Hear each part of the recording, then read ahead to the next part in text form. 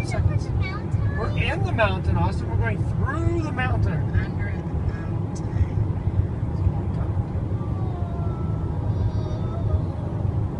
Kind of zoom in tighter.